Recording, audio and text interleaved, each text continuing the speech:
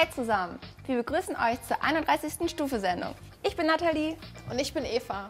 Lasst euch nicht von unserem legeren Aufzug täuschen, bei uns geht es heute noch sportlich genug zu. Ja, auch für das Stufe-Team war es nicht ganz ungefährlich. Genauer gesagt geht es um Eishockey. Um die Stuttgarter Rebels. Wir haben sie bei einem ihrer Spiele begleitet. Und wie das aussah, das zeigen wir euch jetzt.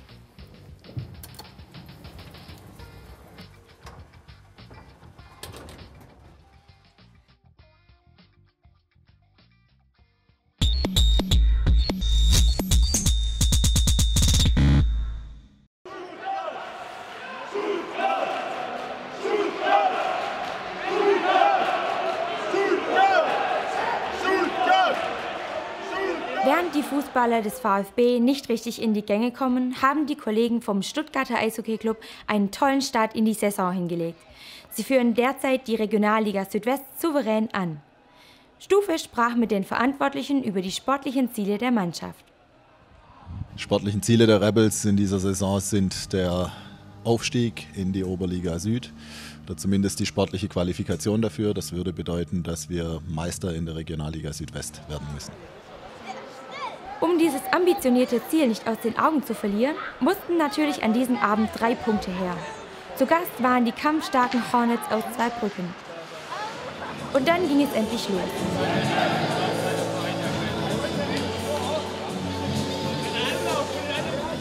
Konzentriert und mit viel Tempo starteten die Rebels ins Spiel. Allerdings dauerte es bis in die fünfte Minute, ehe Miguel Tilgner das 1 zu 0 für die Stuttgarter erzielen konnte. Michael Späth, Vorstand der Rebels, war zufrieden und erzählte uns, was ihn an der Sportart Eishockey so begeistert und warum man sich unbedingt ein Eishockeyspiel anschauen sollte.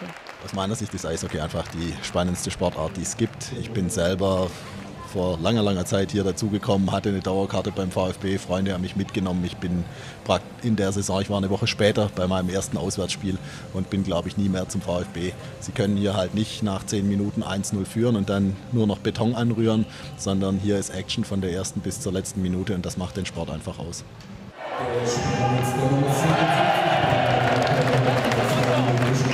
Also ich fand es bisher richtig gut. Ich würde auf jeden Fall auch wieder herkommen. Stuttgart ist klar überlegen. Also ist nicht schlecht, ja. Es ging entsprechend weiter. Zwar konnten die Gegner aus zwei Brücken insgesamt auch dreimal ins Schwarze treffen, dennoch wurden die Stuttgarter ihrer Favoritenrolle gerecht und schraubten das Ergebnis zwischenzeitlich auf 6 zu 2. Ja, das Allerbeste ist natürlich, dass die beiden Schmidts, Alexander Schmidt und Dominik Schmidt, bisher schon vier Tore geschossen haben und wir eigentlich nur wegen den beiden hier sind, weil wir mit ihnen zusammen studieren. Besser geht's nicht.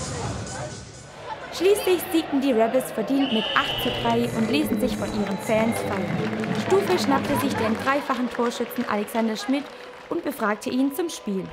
Wie findest du denn so die Leistung, die die Mannschaft heute erbracht hat? Ja, war abschnittsweise wirklich überragend. Wir haben sie teilweise wirklich an die Wand gespielt, haben abschnittsweise wieder viel zu viel zugelassen. Wir sind der absolute Favorit in der Liga. Das haben wir heute großteils auch gezeigt, haben aber wieder den Gegner zu arg ins Spiel kommen lassen. Also das können wir noch besser und wir werden auch noch besser. Und deine persönliche Leistung, wie siehst du die? Ah ja, das ähm, hat auch noch Luft nach oben. Ich meine, die Tore waren okay.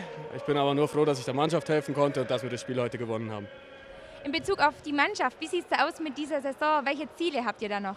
Ja, das erklärte Ziel ist der Aufstieg. Und ähm, Vier Spiele, drei klare Siege. Das, der eine Ausrutscher in Freiburg, das ist uns passiert, das wird uns nicht nochmal passieren. Wir werden die Meisterschaft, die wir letztes Jahr geholt haben, verteidigen. Und das ist das Ziel und das werden wir erreichen. Und du bist ja Student, wie wir ja wissen. Wie sieht es denn aus? Wie bringt man Leistungssport und äh, das Studium unter einen Hut? Naja, zum Beispiel kann ich jetzt heute nicht feiern gehen, weil ich äh, morgen früh zwei Prüfungen schreibe. Aber ähm, das ist ein guter Ausgleich, das eine zum anderen. Und deswegen klappt das ganz gut. Dann danke fürs tolle Spiel und weiterhin drücke ich euch die Daumen, dass es gut klappt noch. Und so endete ein toller Eishockey-Abend mit vielen Checks und Toren, der in jedem Fall Lust auf mehr machte.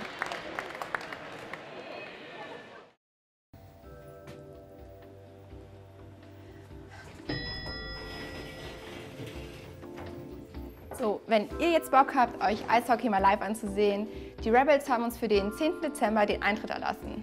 Das Ganze findet im Sportzentrum Waldau statt. Bringt einfach euren HDM-Studentenausweis mit.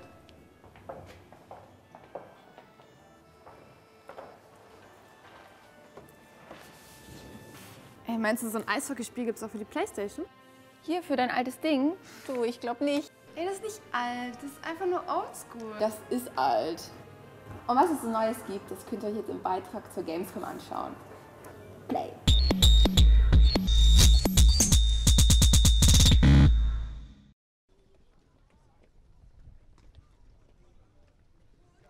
Hallo und herzlich willkommen aus Köln, genauer gesagt von der Gamescom 2010. Wir haben uns extra für euch auf den Weg gemacht, um von Europas größter Messe für Unterhaltungselektronik zu berichten. Egal ob Computerspiele, Playstation, Xbox oder Nintendo, hier findet sich alles, was das Gamerherz begehrt. Und noch mehr. Es war das zweite Mal, dass die Gamescom in der Messe in Köln stattfand. Mit 254.000 Besuchern kamen sogar noch mehr Spielefans als im letzten Jahr. 505 Aussteller aus 33 Ländern präsentierten ihre Produktneuheiten, darunter mehr als 200 Premieren. Um die Neuheiten noch vor allen anderen auszuprobieren, nahmen die Fans auch stundenlanges Schlangestehen in Kauf. Wirklich stundenlang. Außer man wusste sich durchzusetzen. Voll im Trend waren auch die neuen 3D-Systeme für den PC. Alles, was man dafür braucht, mindestens einen 120 Hertz Monitor, coole sind natürlich drei, eine Shutterbrille und nicht zu vergessen den passenden Geldbeutel dafür. Im Jobs- und Karrierecenter hatte jeder Interessierte die Möglichkeit, sich über eine Zukunft in der Spielebranche zu informieren. Und die sieht ziemlich rosig aus, wie Heiko von der GameStar weiß. Also die Games-Branche ist ganz klar ein Zukunftsmarkt. Das wird, also man sieht es ja hier, weil allein bei uns im Jobs- und Karrierestand sind über 250 Stellen einfach ausgeschrieben von nur 10 Ausstellern. Also die stellen alle wie die Bekloppten ein, die suchen neue Leute, es ist ganz dringend, die Umsätze steigen. Selbst jetzt die Finanzkrise hat der Games-Branche eigentlich gar nicht ge geschadet. Man merkt es vor allen Dingen daran, dass die Zielgruppen immer größer werden. Ich, meine, man sieht, ich sehe es ja selbst bei mir, ich bin jetzt auch über 30, ich höre trotzdem auf, nicht auf zu zocken. Ja? Also ich mache damit weiter und das geht halt Millionen andere Menschen auch so. Und ähm, die, die Spieler werden immer älter, es gibt immer mehr Frauen, die spielen und dadurch ist da noch extrem viel Bewegung im Markt. Und was würdest du sagen, was für Leute werden da am meisten gesucht? Alles. Also es ist ja immer dieses, dieses gern genommene Klischee, dass vor allen Dingen äh, Game Designer, Programmierer und Grafiker, dass das die Spieleentwicklung ist, aber die ist halt so viel mehr. Also ich meine, die großen Unternehmen brauchen ja ganz genauso Marketing- und PR-Leute, Community-Manager, die brauchen auch äh, BWLer, also Zahlenschubser, Controller, ähm, das ist volle Programm. Eigentlich ist fast egal, was man kann, Juristen sogar. Äh, wenn man etwas gut kann, dann kann man sich in der Games-Branche bewerben. Das ist eigentlich kein Problem. Also gute Chancen für junge Medienstudenten von uns an der Hochschule? Auf jeden Fall. Also der ist ganz klar derzeit noch ein Arbeitnehmermarkt, äh, sprich es gibt mehr Stellen, als es eigentlich Nachwuchskräfte gibt. Das heißt, man sieht es ja auch hier bei Jobs und Karriere, die liefern sich richtig einen Wettbewerb um die besten Köpfe und das heißt, deswegen hat man auch sehr, sehr gute Einstellungschancen derzeit in der Games-Branche. Auch bei den Konsolen gab es viel zu entdecken. Sony stellte zum Beispiel eine eigene Bewegungssteuerung namens PlayStation Move vor. Die soll der erfolgreichen Nintendo Wii Konkurrenz machen.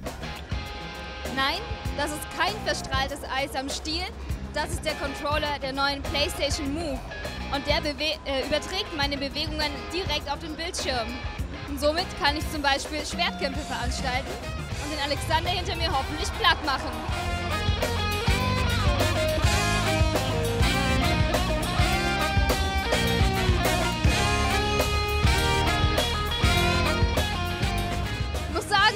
wirklich Spaß. Und auch Microsoft versucht mit einer Erweiterung für die Xbox am Erfolg der Bewegungsspiele teilzuhaben. Ihr neues System heißt Xbox Kinect und funktioniert ganz ohne Controller. Alle Körperbewegungen werden direkt auf den Bildschirm übertragen. Und das klappt richtig gut.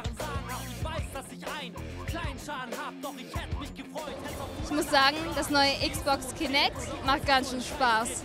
Ist sicher was für Leute, die gerne tanzen und nicht nur faul vom PC hängen wollen. Aber natürlich war auch der Vorreiter Nintendo vertreten. Und der hatte für seine Konsole der Wii etwas für die ganz Sportlichen in petto. Das Hometrainer-ähnliche Cyberbike, das die Lenkbewegungen beim Strampeln erkennt und man so ganze Parcours meistern kann. Von wegen Sesselpupser und Kellerkinder. So ein Tag auf der Spielemesse kann ziemlich anstrengend sein. Gott sei Dank hatte ich für die Heimreise schon gesorgt.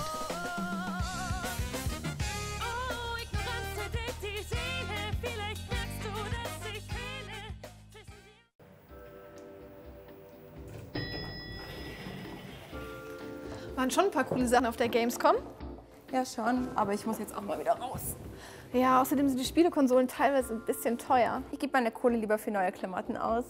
Die ist ja cool. Wofür brauchst du denn die? Geh jetzt raus. Und dafür brauchst du solche Schuhe. Gehst du wandern oder was? Nee, ich gehe jetzt zum Geocaching. Geocaching? Was ist das denn? Ja, das schauen wir jetzt am besten mal zusammen an.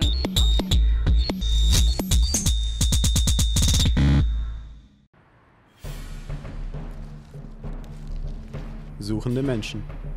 Man sieht sie immer öfter in der Stadt oder im Wald mit einem GPS-Gerät oder einem Handy in der Hand. Aber was machen sie? Die Antwort ist Geocaching, eine moderne Form der Schnitzeljagd.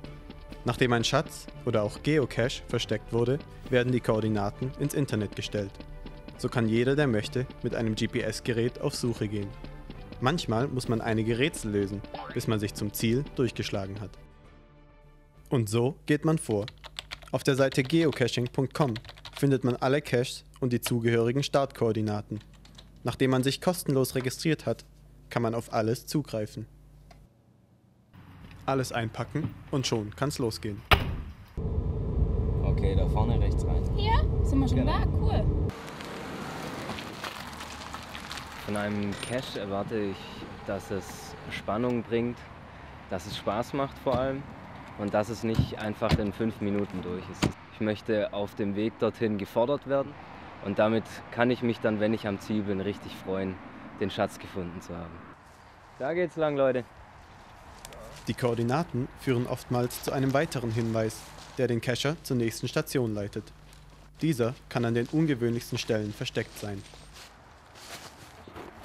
Wie lang so ein Cache dauert, ist unterschiedlich. Mal sind 10 Minuten und man hat den Schatz gefunden, mal dauert es den ganzen Tag und man hat den Schatz immer noch nicht gefunden. Das hängt damit zusammen, wie viele Hinweise man bekommt und wie viele Stationen so eine Suche auch hat. Also, bewegt euch nun ca. 354 Meter Nord in Richtung Nordosten und haltet Ausschau nach etwas Rotem auf der anderen Seite des Flusses. Also da.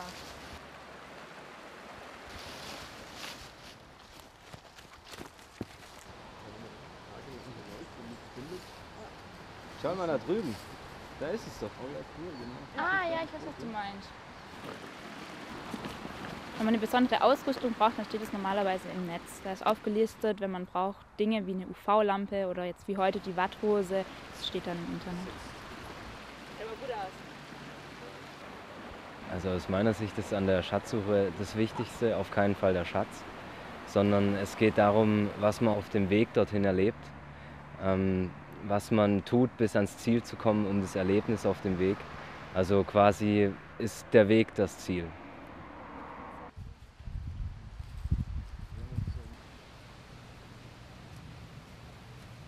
Also ich finde nichts. Ich hab's gefunden. Den Schatz sollte man auf keinen Fall komplett mitnehmen und ein leeres Schächtelchen quasi hinterlassen, sondern ähm, man kann Dinge herausnehmen und behalten, sollte aber dann auch was Neues hineinlegen in die Schatzkiste, damit der Nächste auch wieder was finden kann. Wie viel denn haben wir heute? 23. Für den Cache ist es wichtig, sich ins Logbuch einzutragen. Dort bewertet man die Schatzsuche, den Tag. Zu Hause tragen sich auch viele nochmal im Internet ein, auch in ein Logbuch und bewerten dort den Cache auch nochmal. Falls euch jetzt die Lust zum Schatzsuchen gepackt hat, dann geht auf geocaching.com und schnappt euch ein GPS-Gerät. Sucht euch einen Cache in der Nähe und lasst eurer Abenteuerlust freien Lauf.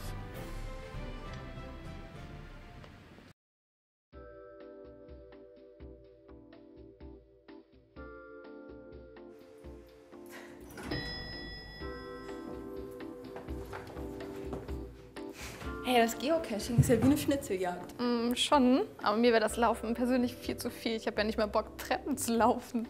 Ja, dann nimm doch das Fahrrad hier. Ja, genau, weil ich mit dem Fahrrad auch die Treppen runterfahren kann, oder was? Ey, du, ich kenne Leute, die machen das mit dem Einrad. Einrad, das sind ja nur halb so viele Räder wie beim Fahrrad. Äh, ja.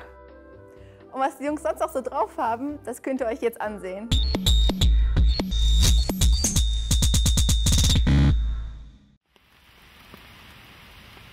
25. September 2010 in einem Wald bei Stuttgart.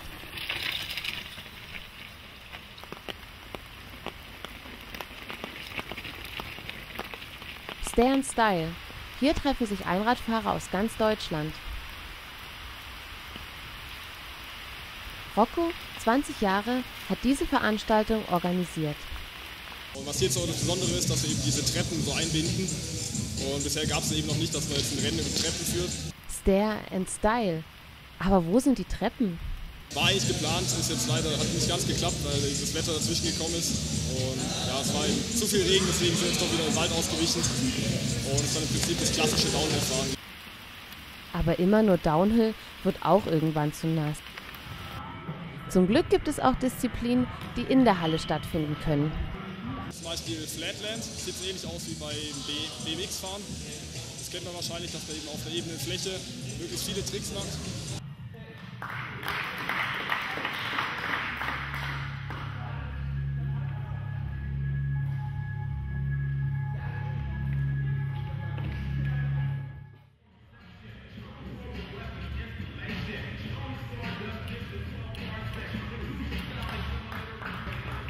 Die Faszination am Einradfahren, es ist eine Sportart noch in den Kinderschuhen. Man kann selber noch viel zur Entwicklung des Sports beitragen. Jetzt bei anderen Sportarten wie Fußball ist schon sehr ausgeprägt, da geht nicht mehr viel vorwärts. Und Einradfahren ist eigentlich noch so im Anfangsstadium. Da, noch, da kommen ständig neue Disziplinen dazu und man kann auch selber was dazu beitragen, dass es weitergeht.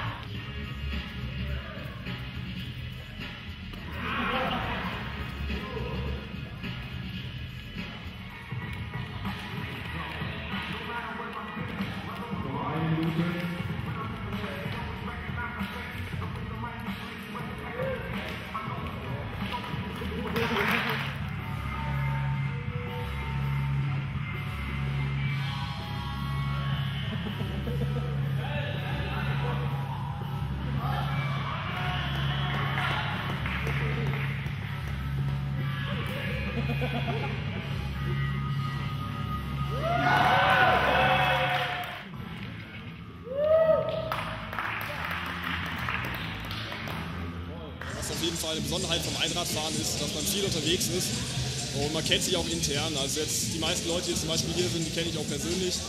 Und man ist auch viel unterwegs auf Wettkämpfen in ganz Europa, lernt dort immer wieder neue Leute kennen.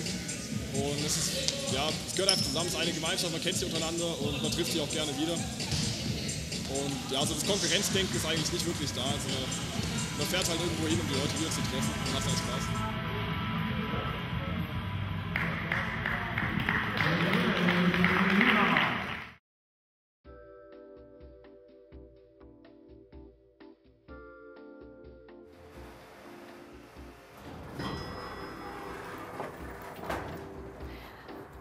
Krass, dass die sich das trauen, bei dem Wetter im Wald rumzufahren, hey.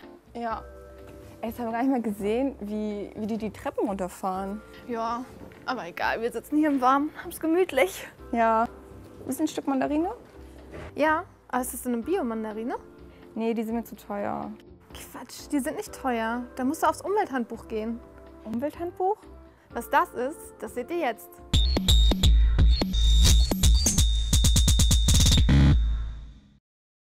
Die Webseite umwelthandbuch-stuttgart.de stellt sich vor.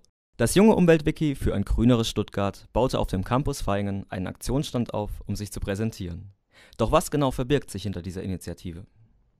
Ja, also Stuttgart verbinden ja die meisten Leute einfach nur mit Autos und ähm, Umweltbewusstsein ist für viele heutzutage immer noch irgendwie Müsli essen und wir wollten zeigen, dass sowas nicht so ist. Ähm, es gibt Probleme wie Klimawandel oder Umweltverschmutzung, die vielen Leuten bewusst sind und die meisten Leute wissen aber nicht, was man dagegen machen kann.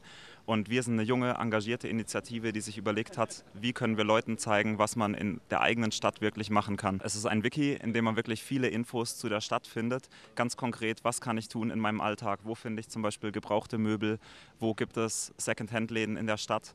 Wo kann ich korrekt einkaufen, zum Beispiel auf Märkten. Und ähm, ja, in diesem Handbuch findet man also viele Infos. Es ist ein Wiki-Prinzip, jeder kann daran teilhaben, jeder kann mitmachen und es soll helfen, den Leuten zu zeigen, dass Stuttgart eine grüne und interessante Stadt ist.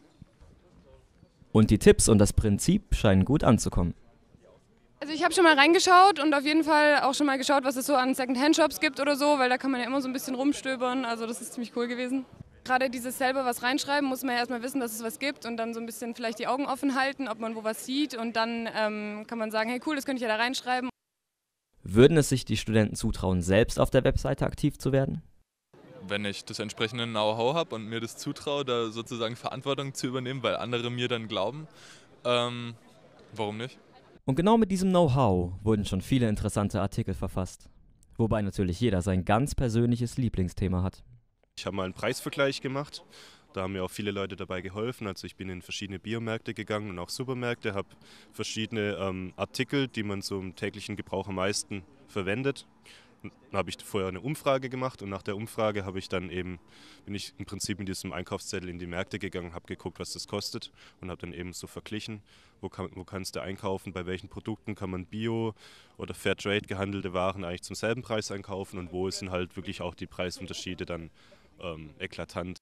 Aber der, äh, der Artikel soll zum Beispiel auch dazu einfach beitragen, dass man ähm, sich darüber Gedanken macht, wo kann ich sparen und wo kann ich was Gutes tun und Kompromiss finden. Das war die Idee. Und Kompromisse findet man nicht nur in der Ernährung. Weiß auch Stefan. Ich interessiere mich besonders für die korrekte Mode. Das heißt, ähm, wir konsumieren viele, wir kaufen viele Klamotten, T-Shirts und so weiter, ohne uns darüber bewusst zu sein, ähm, wo sie eigentlich herkommen, unter was für Arbeitsbedingungen sie hergestellt sind. Darüber informieren wir im Umwelthandbuch, aber wir gehen einen Schritt weiter. Wir zeigen wirklich auch, wo man hier korrekt produzierte Klamotten in Stuttgart kaufen kann. Diese Klamotten sind hip, sind absolut im Trend, im Style. Das heißt, man fällt überhaupt nicht auf und sieht das nicht aus wie ein Öko oder so. Und andererseits zeigen wir, wo gibt es Secondhand-Klamotten, wo finde ich hippe Sachen in Stuttgart Secondhand-Läden. Das liegt mir wirklich am Herzen und würde ich mich freuen, wenn sich da Leute für interessieren und einfach mal reinklicken. Aber wie kam der Aktionsstand auf dem Campus bei den Studenten und bei den Initiatoren eigentlich an? Lief eigentlich gut, also ich war überrascht, weil die Ingenieure sind ja doch oft zögerlich so ein bisschen mit der Interesse. Ähm, und da waren doch eigentlich gleich eine ganze Horde neugierige Leute, haben sich informiert und dann kommt man so in Dialog. Es war, echt, also war echt nett irgendwie, doch. Und wird es weitere Aktionen geben? Ja, wird es auf jeden Fall geben, denn wir wollen die ganze Sache bekannt machen. Uns gibt es jetzt seit einem Dreivierteljahr und wir haben wirklich schon viel gestemmt. Wir haben Flyer gedruckt, eine Homepage designt, viele Informationen gesammelt. Das war heute unser erster Aktionsstand hier und wir hoffen, dass beim nächsten Mal noch mehr engagierte Leute dabei sind und sich auch dafür interessieren, bei uns vorbeikommen und einfach mitmachen. Da freuen wir uns drauf. Dankeschön.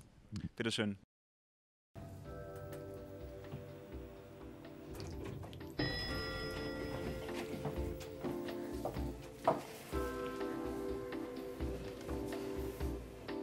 Seid ihr eigentlich zufrieden mit eurem Studiengang?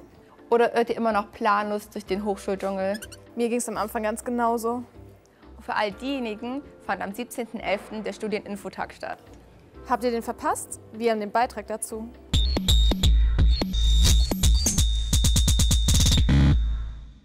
Willkommen beim Studieninfotag 2010. wir von Stufe sind heute auf dem Studieninfotag unterwegs, um Nachwuchs für unsere kommenden Sendungen zu finden. Mal schauen, was da so geht. Ich bin schon ganz heiß auf Frischfleisch.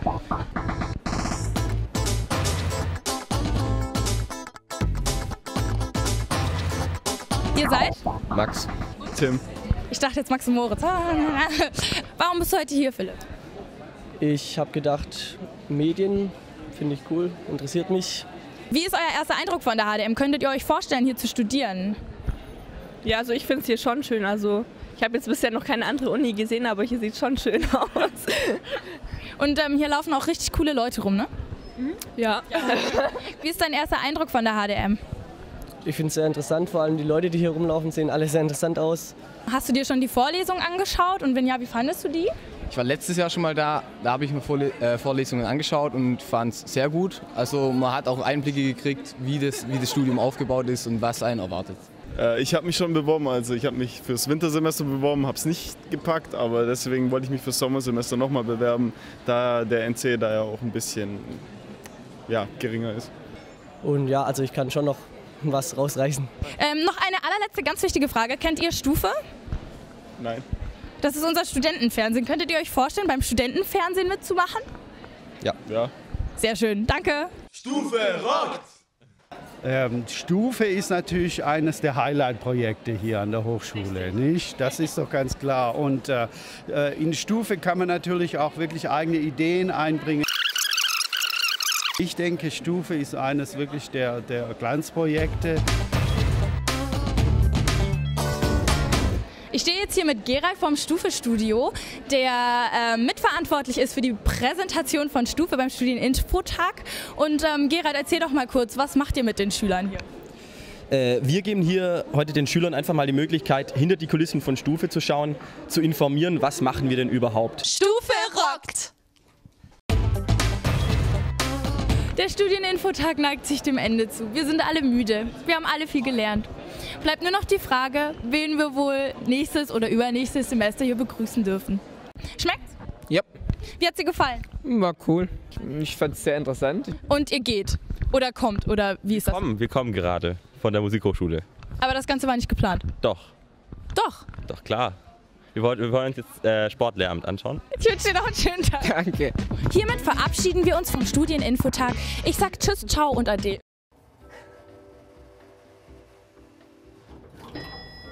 Mir war das jetzt genug auf und ab. Wir bedanken uns fürs Zuschauen. Und ich lade mir jetzt noch die God-App runter.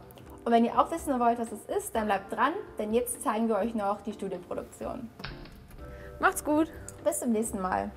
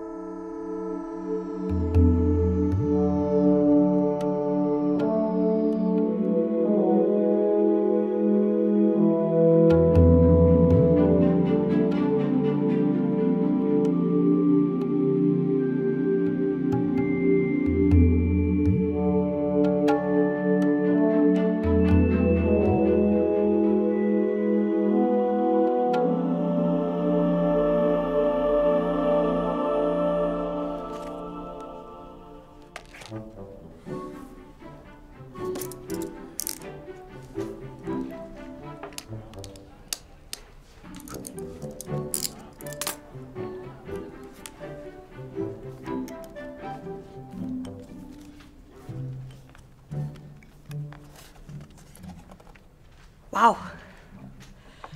Hendrik, das sieht spitze aus. Gefällt mir richtig gut. Schau mal, ich habe die Fensterfronten hier genau so angeordnet, dass die Sonne einmal am Tag an der Front reflektiert wird und durch diesen Vorsprung hier genau in den Innenhof scheint. Sag mal, Hendrik, das ist doch totale Hanebüchen. Guck mal lieber, dass deine Konstruktion tragfähig ist. Sischukom hat uns den Zeitplan für morgen durchgefaxt.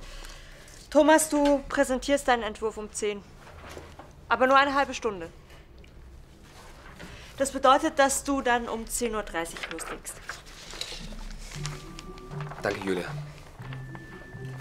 Ja, und wir hatten ja schon darüber gesprochen, dass. Also, ich meine, falls du heute Abend noch ein bisschen Ablenkung brauchst, dann könnten wir ja vielleicht was trinken gehen. Yeah, das war's, ich bin fertig. Und du, Hendrik? Ach, hast du dich ein bisschen verzettelt hier, ne? Weißt du, wer so viel arbeitet, der muss doch auch mal feiern können. Richtig, das muss gefeiert werden. Julia, wie wär's mit einem Glas Sekt? Ich muss noch arbeiten. Julia? Um acht?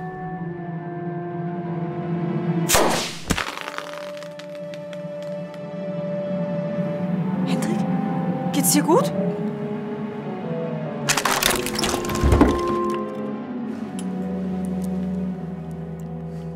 Sag ich doch, nicht tragfähig.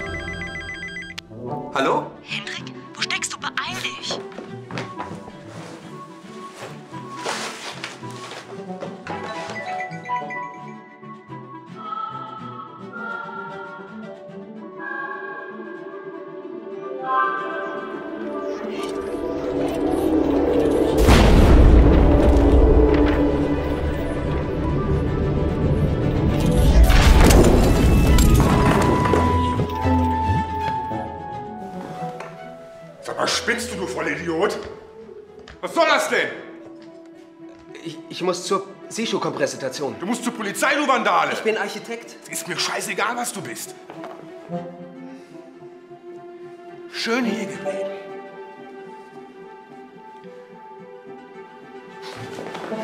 Reicht's mir, Freundchen.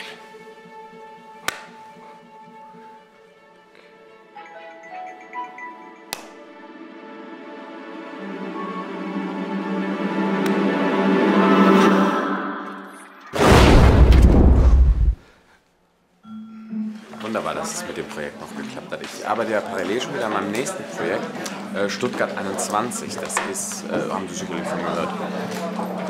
Ähm, das ist eben das nächste Großprojekt. Deswegen bin ich froh, dass ich das noch dazwischen schieben konnte hier gerade.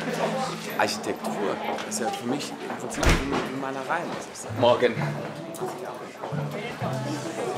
Ni hao.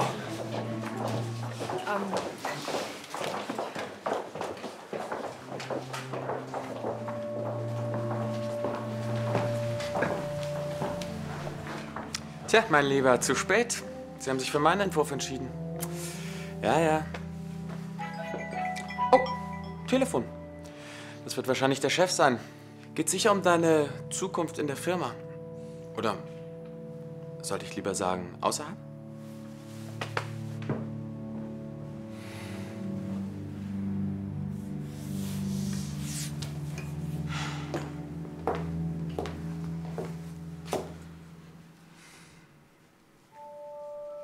Gefällt dein Modell viel besser als das von Thomas. Ich hätte es gebaut.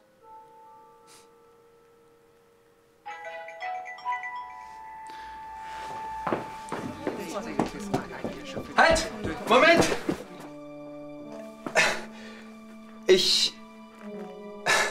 Sag mal, Henrik, reicht dir einmal gefeuert werden nicht, oder was? Ich würde Ihnen gerne noch meinen Entwurf vorstellen.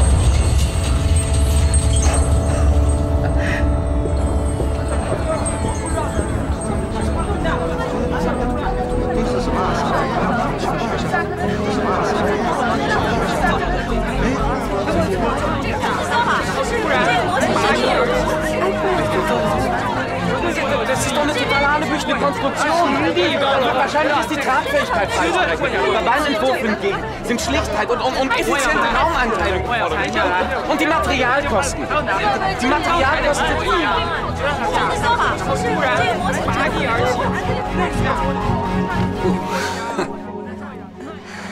Hast du Lust auf ein zweites Frühstück? Frühstück?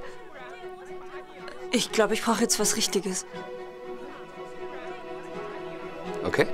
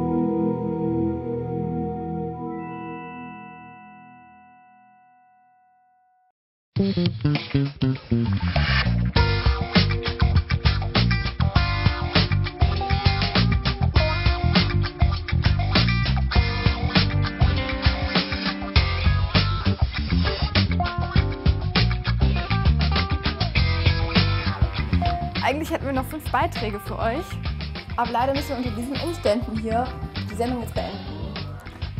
Wir hoffen, ihr hattet Spaß und wir sehen uns bei der 32. Sendung wieder, wenn der Fahrstuhl wieder geht.